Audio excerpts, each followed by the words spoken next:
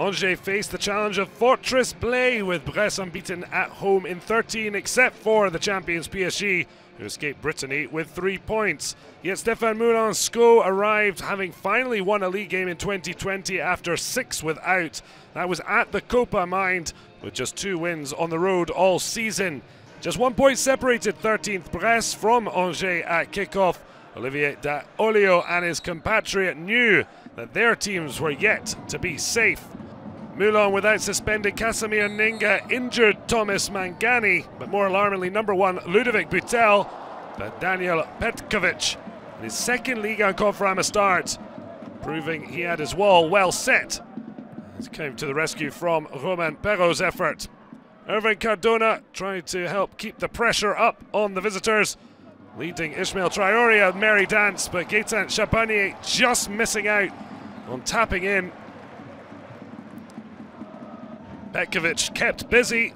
He lost his debut match away at Monaco in February, but having a much better time of it here. Soaking up the pressure. It was Angers who sprung a trap. Souleyman Doumbia charging through, then finding Stéphane Bahoken. Like a finishing move in Street Fighter. A smashing effort for the man who scored a winner against Montpellier. That's two goals in successive league matches. Would this be another winner? Well, Gautier Larsonneur misjudging the effort. And Cristian Battocchio tried to bring them back on level terms with an audacious effort. But Brest stunned. Angers with a smashing grab at the end of the first half.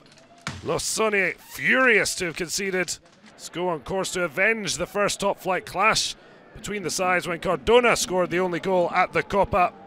Brest with it all to do. Mathias Autret on for Battocchio late on.